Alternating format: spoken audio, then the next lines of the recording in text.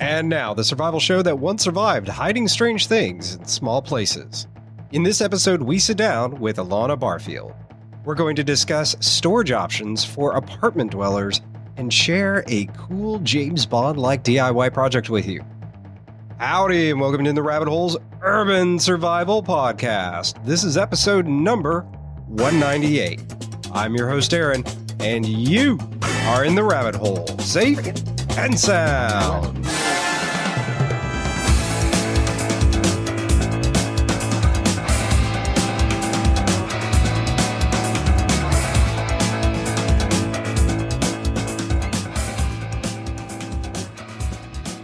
A quick note and message before we get into this episode. Josh, we're thinking of you, man. Hope you feel better soon. And, well, now let's give you something to pass the time with. Alana, welcome back to In the Rabbit Hole. Hi, thank you. It's a pleasure to be back.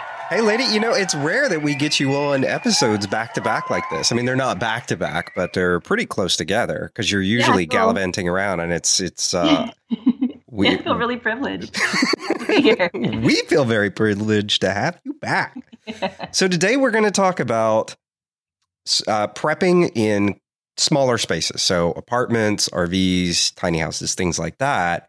So I this is awesome, and this plays into a lot of what you're doing with your time time these days. And we've got some cool stories also at the end about some people that you're helping out. And so I think there's some big takeaways there for people about their parents and helping their parents prep, especially uh, their moms if they're widowers. But we'll get all to that in a bit. So let's start off with kind of the basics.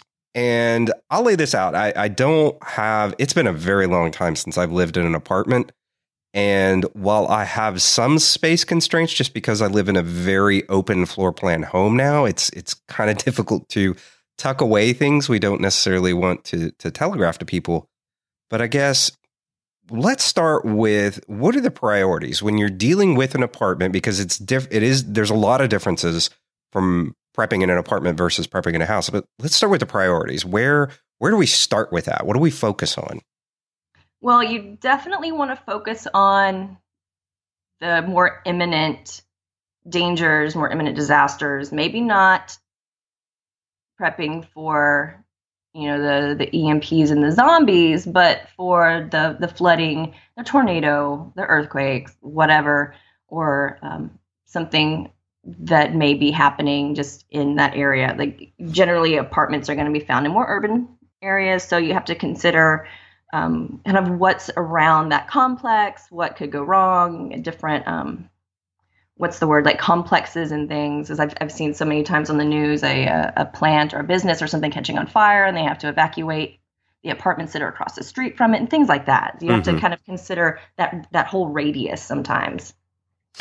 Yeah, I know there was a big fire at a, an apartment complex not too far from my house recently. And I mean, it whipped through that apartment complex pretty fast. I felt pretty bad for the people.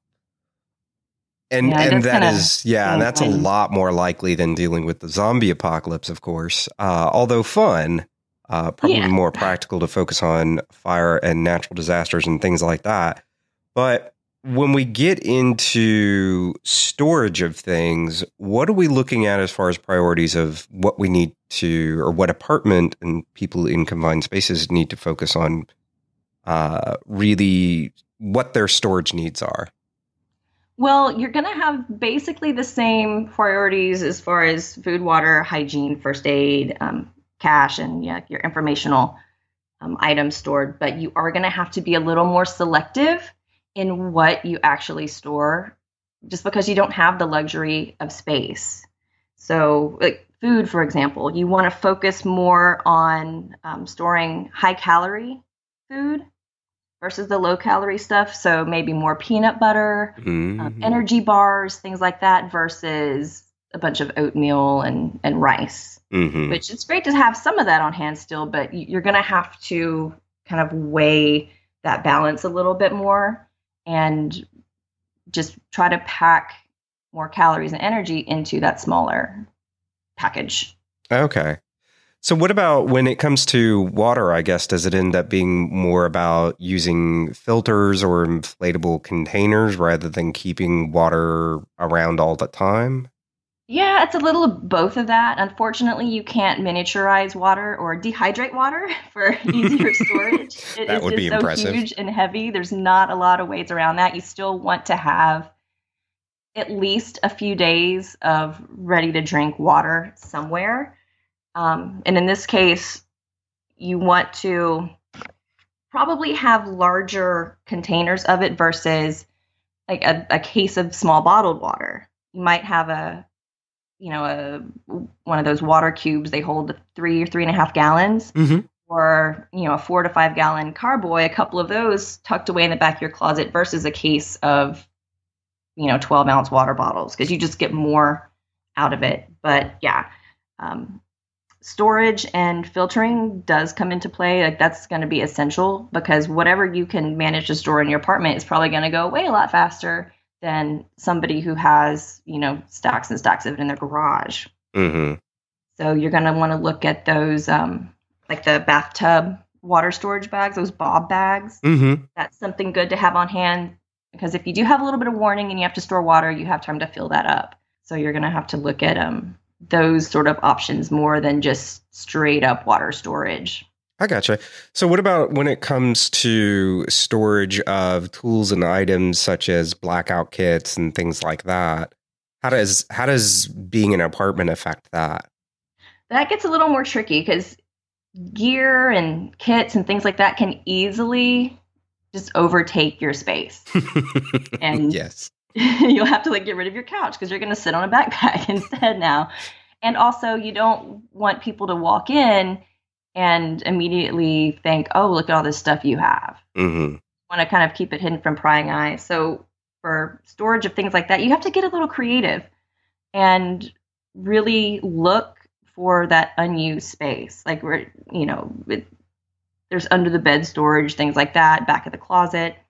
Um, you might even have to kind of change your your design style a little bit and incorporate pieces of furniture. Like I love wardrobes and armoires for things like that Mm. because you can close them up. They look pretty. They just look like an entertainment center or a little office center, but there's tons of storage in there. Instead of using the closet side, you can hang up um, backpacks and stack bins in them, and you have shelving to store all your other fun gear. So Mhm. something a piece like that is is really good to have. And of course, there's no modifications to the actual apartment. You're not drilling in shelves or anything like that, which may cause you to lose your deposit or anything like that. hmm So, does that become an issue where I guess a lot of people can't put in shelving? I mean, even if it's something that maybe they would patch up their own holes before they left, does that does that become an issue for for apartment? You know, it just kind of depends on your landlord and on your lease. Um, Most of them that I've seen are fine with you know putting a couple of nails in the wall if it's not causing damage. Like you, you can you know hang a few nails, and if it's something you can spackle up before you leave, it's it's no big deal. But um, if you cut a section of wall out between some some framing, that's another issue. yeah, generally, if, if you know a shelf here or there, something is not going to break your lease. But of course, you you definitely want to check with your contract. But mhm. yeah, shelves, just just a couple extra shelves placed somewhere is such a great thing to have. And you're looking at unused space. You want to look at maybe spaces above doors where you can, you know, put a little shelf, put a couple of decorative baskets up there, say look innocuous, and fill them with whatever you want. Mm. Like pretty floofy floofy little uh, baskets, but they're actually full of bullets or something cool. Exactly. yeah. of course, you know, and putting a safe, you know, for you know guns and ammo is is ideal. But then again, those can be pretty cost prohibitive. Um, they can be heavy. There maybe there are restrictions of of weight if you're on an upper floor. Um, again, it's something you kind of want to check before you do something like that. But um, yeah, there are ways to at least hide from prying eyes on the surface with um, you know baskets and that sort of typical looking everyday stuff. hmm Are there common areas that you find where I mean space gets wasted? I mean, it, we, we can just start with closets themselves. Is there like just air gaps in areas where it's just just wasted space that most people don't even think about using?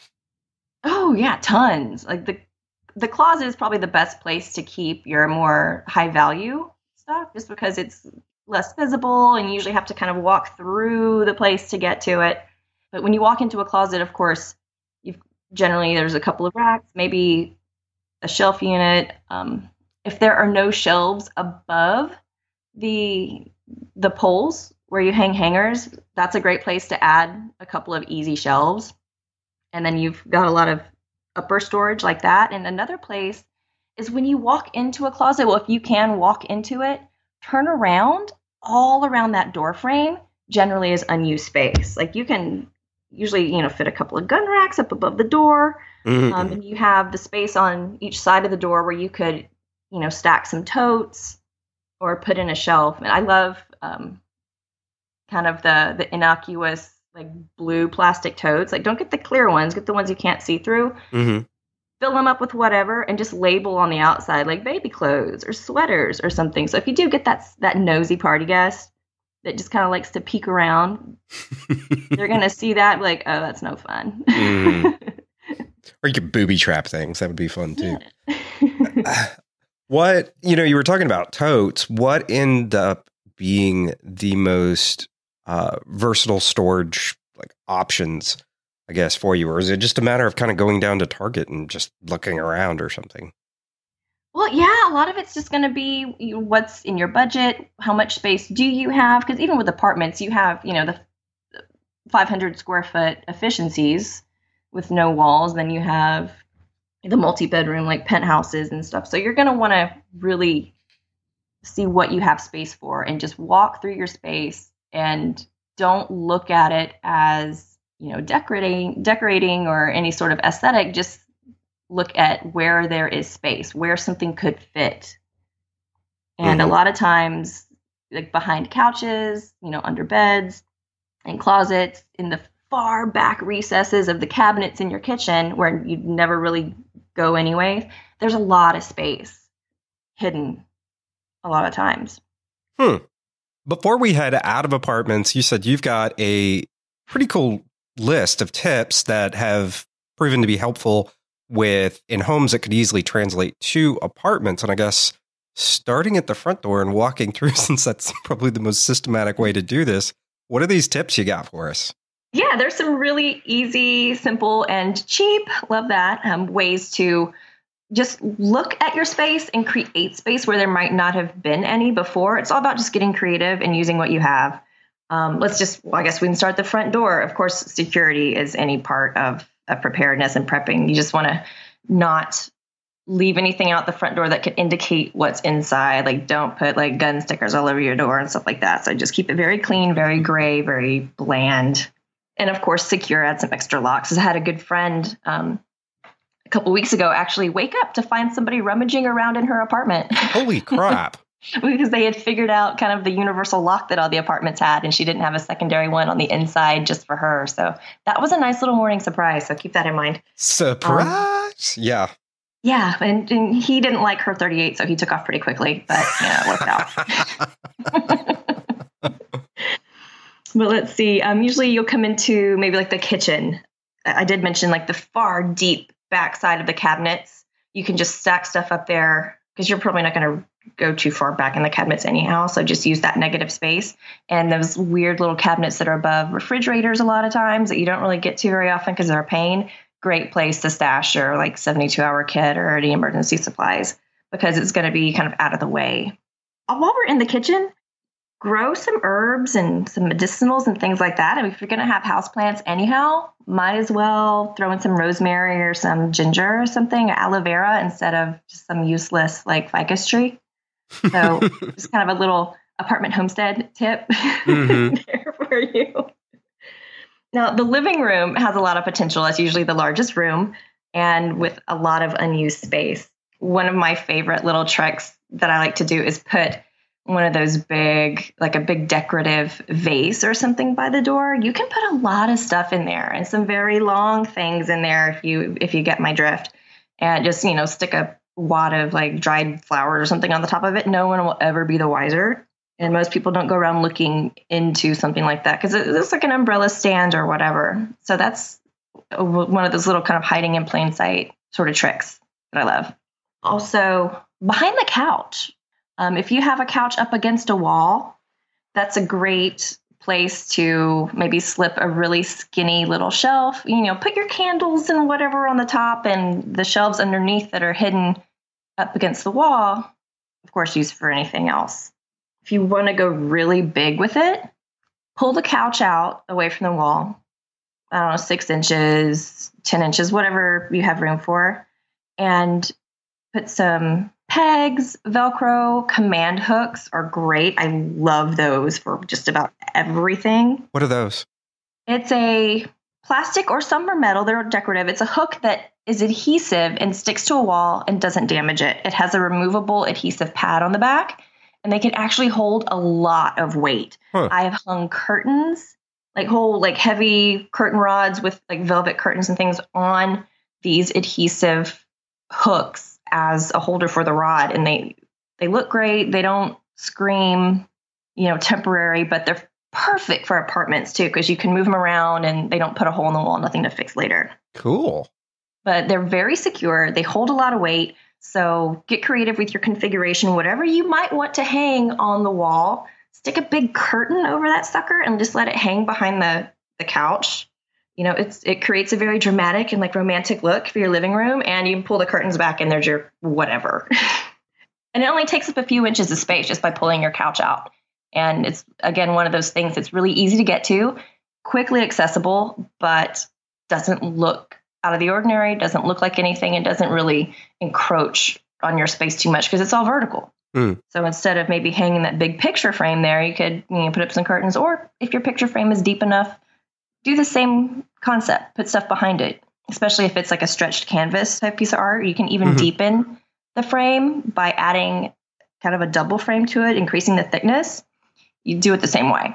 Okay. So I love that one. That works in the bedroom too. Like behind the bed, you can do the same thing with kind of a curtain setup or a really large piece of art. Oh, your living room in your apartment may have a fireplace. Not too many of them down here in Texas, but some do don't forget the wood. Make sure your fireplace actually works.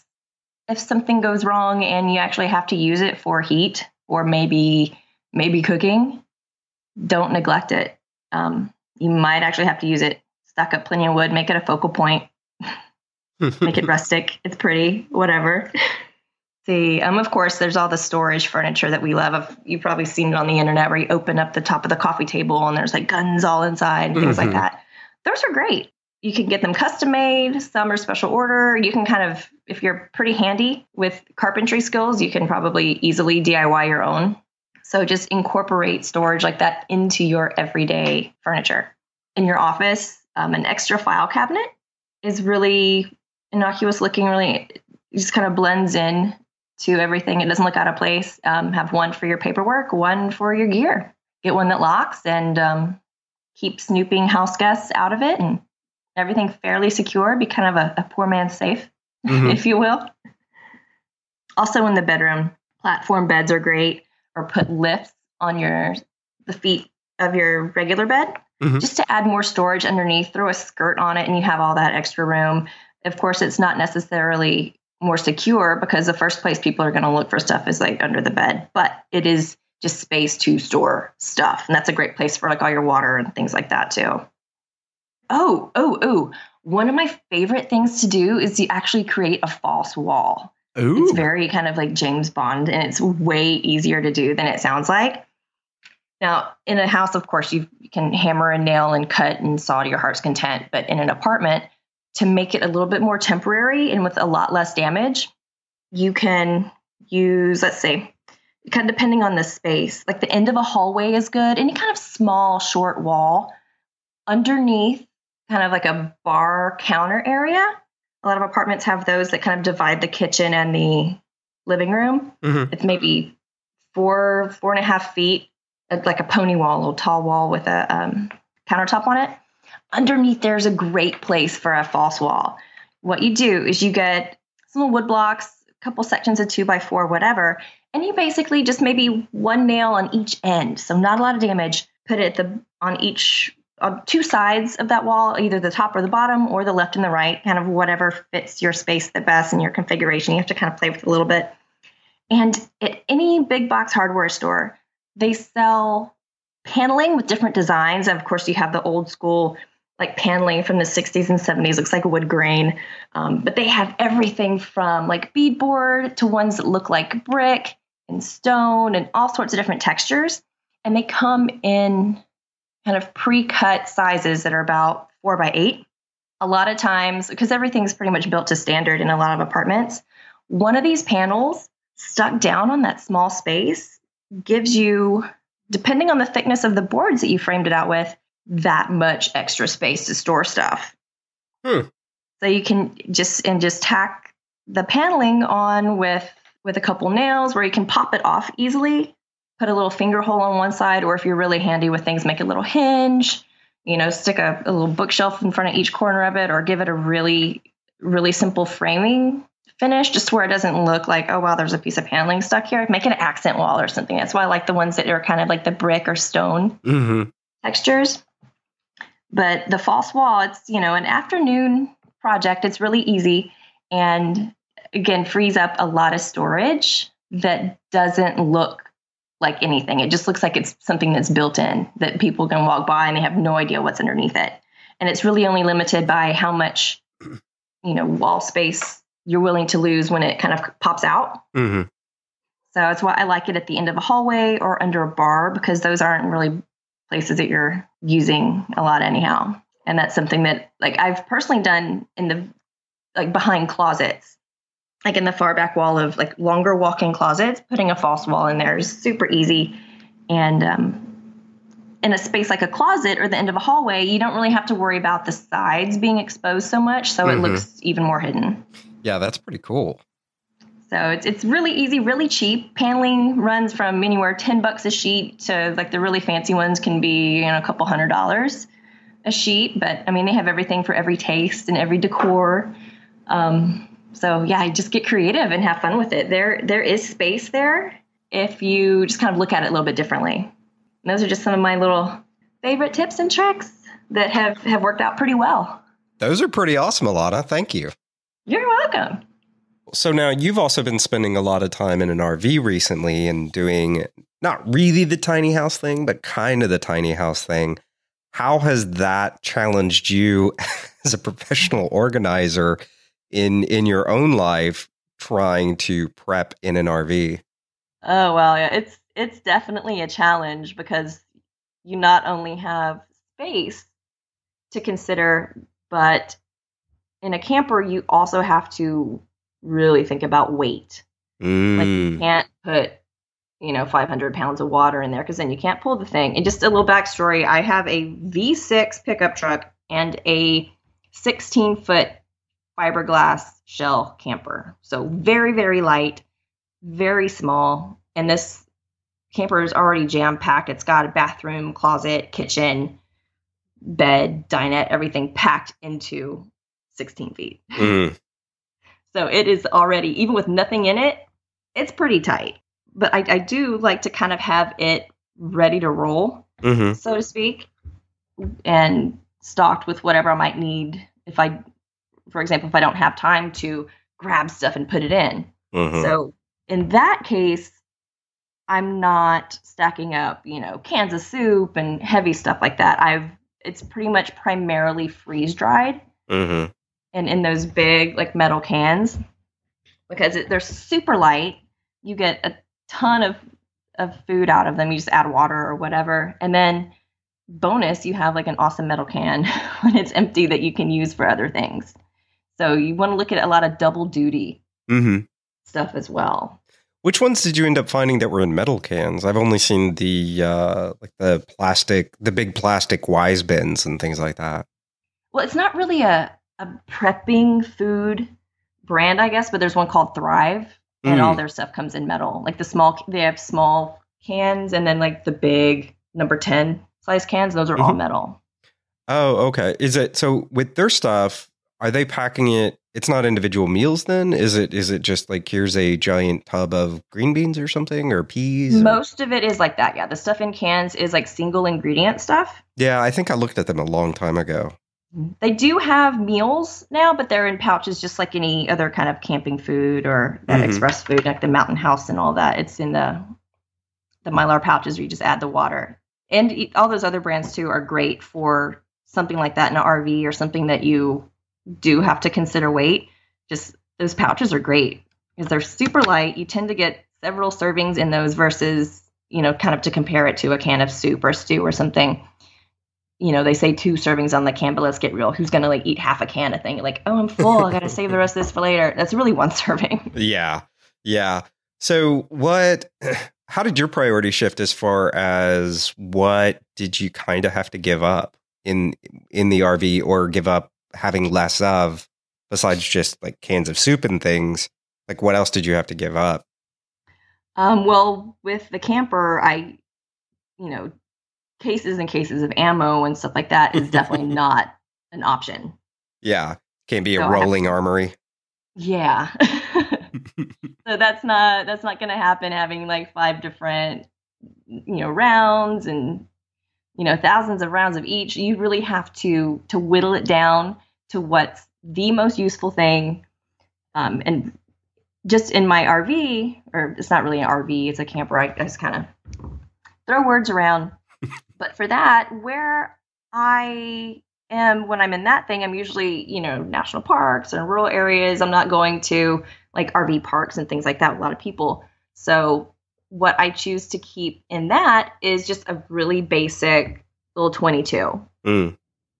because if you know it's maybe not so great for defense, but I still wouldn't want to get shot with one. But still, you know what I mean. Yeah. Um, but th- it's more focused on like if I did have to, you know, scare away an animal or hunt something. It, it's just a nice little tool to have in there. hmm And of course, the rounds are small and light, and you get a whole lot of them in a small space. So did you end up focusing so is that all you ended up doing was just the the 22 or did you end up just saying, "Hey, I'm just going to focus on these one or two different calibers and just really whittle things down?" That's pretty much what I did for for just the the camper. I still Mm. have, you know, oodles of redundancy everywhere else, but in the camper, I, I definitely whittled it down. I, I keep a 22 in there all the time, um, with you know a few hundred rounds of ammo, and it's not too heavy. And then of course just my everyday carry. I do have you know a handgun on me. At, the caliber may vary just depending what I'm wearing that day. Right. But um, I yeah, I always always have some other backup handgun. But that the little 22 like lives in the camper. mm-hmm. How did water end up becoming affected by the, uh, living out of the camper for a bit? Well, it's not too bad. It, the camper I chose does have a pretty nice size water storage tank on it. hmm It can hold I think 15 gallons, Okay. and um, so that, that's pretty good there. So I don't when I'm in the camper, I have you know a few gallons of just regular drinking water, but I do have 15 gallons of clean water that I can tote around with me at any given time. So it's it's pretty decent there. And of course, I have filters and things like that. So Yeah. Where I'm at, I can do a little water search if I need to. So that's interesting. How how long did you find that the 15 gallons actually lasts you? You know, I have run off of it exclusively for four or five days. Oh, okay. and I and I never ran out. And I used it for drinking, cooking, really quick showers, things like that. And um, I still had it when I left. So I didn't measure the amount hmm that was still in there whenever I, you know, parked it and drained it. But you know, it wasn't dripping dry whenever I, whenever I left. So it actually lasted me a while. If you conserve it and you know don't take hour long spa showers in your in your RV, you'll probably be okay for a little while. Of course, if it's just me, that, that's one thing. But if you have a family of four in there, you you Mhm. might have to skip the showers. Yeah, or do sponge baths of some kind or something. yeah. Oh, interesting. So moving on to so actually to to back up for just a second before we leave the RVs, and I know we we talked about this a little bit before we started recording as far as insurance.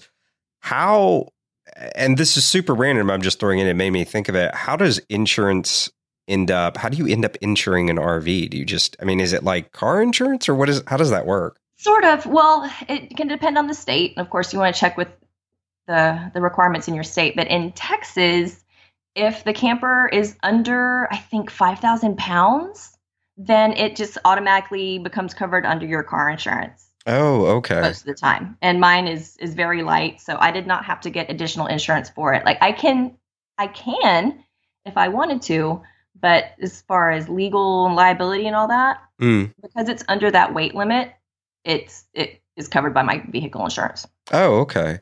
So if it's a heavier camper or RV, well, especially if it's an RV that drives, it has the the vehicle and the mm-hmm. camper together. You you treat that like a car. There is there is insurance right. Yeah, it's a whole vehicle But- at that point. Yeah. yeah, but a heavier heavier camper, you might need to get additional insurance. Like one of those great big airstreams or something like that. Oh yeah, Yeah. Okay. Which I mean, if you had one of those things, those things are so expensive. You really would want to get insurance, uh, Oh, extra my insurance gosh, on it. regardless whether it's required or not. You want to Yeah, they're they're insane.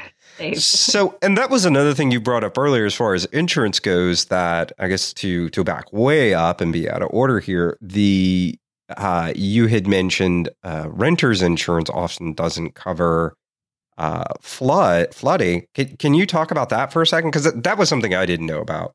Yeah, that's something that a lot of apartment dwellers kind of overlook. Um, and I know so many that don't even have renters insurance. Like it's not expensive. People get renters insurance just to protect you because you don't know what the freak next door is like burning in the middle of the night or whatever that could catch the whole place on fire. That's Mhm. that's the one thing I don't like about apartments is you don't really know what's around you. and You have no control over that. yeah. So even if you're not, you know, an idiot and doing stupid things it's gonna, you know, destroy the place you live, you don't know what the person on the other side of the wall is up to. Yeah. Get renter's insurance. And also with that, renter's insurance does not cover flooding. It'll cover flooding from a burst pipe or something like that, but you know, in a hurricane or you know, all these floods that we've been seeing over the summer, renter's insurance does not cover that. Does not cover natural flooding. You would have to get flood insurance just like any standard, you know, home policy. It is a separate thing that you may or may not be required to, depending on if you live in a flood zone or not. But um, yeah, that's something a lot of people overlook. And then, especially if you live on the bottom floor of an apartment, it's it's a good thing to have. Huh, great. Yeah, that's that's a great tip. The and I just yeah, I realized like, whoa, gosh, what was it? 20 years ago or a little more than 20 years ago. I'm not going to go into how many years ago exactly. Uh, when I lived in a garage apartment, I think that was a, a huge oversight for me. Luckily, nothing ever serious ever happened, but yeah, I could definitely see, and especially if you're on a ground level in an area, I mean, flooding can happen almost anywhere, but especially Yeah. in areas like where you and I are, where flooding is pretty much a given Oh, uh, yeah. on an annual basis. So that's not a bad idea. Bayou City, hello. Yeah, exactly. exactly. So now you were also telling me a, a cool story about sort of a a niche in your professional organizing and prepping business that you have that you've kind of fallen into. And I just thought it was neat to hear about and maybe it'll help some people in the audience think about Oh yeah, maybe I should uh, help help mom figure some of those things out. Can, can you kind of tell us about about this this clientele that you've been catering to a lot lately? Oh yeah, there apparently is a lot of need for senior, elderly. I hate to call them elderly; they'd slap me if I said that. But um, women, like single older women, like Mhm. widowers, um, divorcees that have maybe lived their whole life not thinking about prepping or preparedness, and then suddenly find themselves alone Mm. kids moved away, husband has passed away, and th- they feel kind of lost and ill prepared and kind of nervous about things, especially, you know, they're watching the news and seeing all this stuff going on. They're, some of them are getting a little scared. So I have kind of become involved with a, I guess, a small community of of women in this situation that have kind of banded together and are trying to learn. It's just been a really interesting process for all of us. Like they're they're coming into this kind of blind and it started out with just like, oh, I need to get some extra food if something happens. You know, my, my kids are telling me to get food and water, and I don't know what to do. And then I'm, I'm coming in to help them. And then during the process, I'm also trying to educate them about all those other things that are just as important as food and water, like your hygiene, um, first aid, have you know have some basic first aid on hand, extra medication. Most of these women are on several different medications, mm. and they just kind of get it month to month, and it's hard to stock up and things like that because a lot of you know their insurance plans or, or whatever only let them get maybe one month of, of prescriptions at a time, which really kind of throws a wrench into having those backups. So that might be something that that people want to look into with their their current situation. Also, um, you know, it, it, makes you think of you know my parents and things like that. So it's something that people can look at. So is it usually something that these women are thinking of it on their own and they come to you for that reason, or is it something where maybe uh, one of their children says, "Hey, you know, mom, you're you're you're a little older, you're you're alone now. Maybe you should think about having some food and some other ways of protecting yourself or something on hand. How how are those conversations happening, or is it just a mixed bag? Yeah, it's a little of everything. Um, the first one that came to me was really just interested in in food because one of her children was like, "Yeah, you know, mom, you probably ought to have a little extra food on hand." for whatever. They were probably having a conversation about politics or something, and it just kind of went to that. And so mm. she asked me to come in and kind of help her create just like a little storage system for, you know, just like a, have a couple weeks worth to get started and go from there. And then just in her talking to her her friends and and other women in her situation, I was contacted just with a myriad of of different questions and um, situations, and it's all just very it's it's it's really varied. so and some have a lot and you know and these these women are you know they've been around for decades in collecting and and I don't want to say hoarding, but you accumulate things when Junk. you're in a house for a long time. Yeah. You accumulate stuff. And so I'm going in and kind of helping them for one realize that they already have most of what they need. They just don't know how to utilize it. Oh, that's interesting. So Talk about that for a second. So yeah, um, there's one woman in particular that I'm helping her go through her um, late husband's estate because she just didn't have the time and kind of the emotional power to just sit down and go through all this stuff. Mm-hmm. So I'm coming in doing it for her, and we're not only finding you know keepsakes and photos and all that normal kind of stuff. We're finding all sorts of kind of like camping gear because he he was a hunter and all this stuff was just kind of thrown in the back of a garage and things like that. I mean, there are knives and lanterns and stoves and very sadly like rusted guns. Oh, and, oh no! And things like that. And um, she's got cats, lots of cat litter. And I was like, you know what? Save some of this cat litter for yourself. It's really useful in certain situations. it's just a little things like that. Um, we're just kind of sorting through and grouping because she's over here like, oh, I don't, I don't know what to do. I'm so unprepared and this and that. And after going through some of her late husband's stuff, it's like, well, you know, you've got cooking options, you've got light options. Let's just now focus on food and water. And just by doing some of some of that kind of inventory to see what you already have, it took a lot of stress off of her. Like she already was like felt instantly better. She's like, "Oh, he's still taking care of me." And like it got really emotional. Aw, that's yeah, cute. it was really sweet. Hmm. But she felt a lot better when we kind of got that kick started. And plus, she got a lot of her her space back too because we were clearing out boxes of tax receipts from 30 years ago. It's like you really don't need to save this stuff. You know, you can get rid of all this stuff and store your, your newfound like gear kit back here instead. Mm-hmm. You know? so so that's going pretty well. Yeah, I'm kind of watching my mom go through that with uh, with my parents' stuff. Although, of course, she she teases that as fast as she gets rid of it, he keeps accumulating more of it. Uh, yeah, different different story altogether. So that's pretty neat. Do any of them get into concerns about their personal security and safety? And do you end up consulting with them on any of that? A little bit. Uh, it's a pretty, they're a pretty tight knit community and they kind of watch each other's back and things like that, which is important. That's always good to have. Mhm. But um, a lot of these women, you know, that don't lock their doors and things like that. So a lot of it is just kind of a basic, almost a reality check. Like, no, you really have to lock your doors. I know you've never locked them before and nothing's happened, but every day's a new day. Something could happen. yeah, yeah.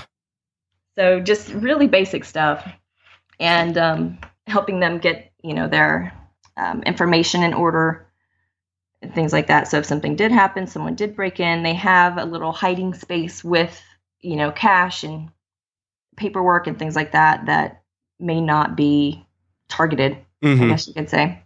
It's, security is an issue, but mostly it's getting them to realize that it is an issue. Yeah.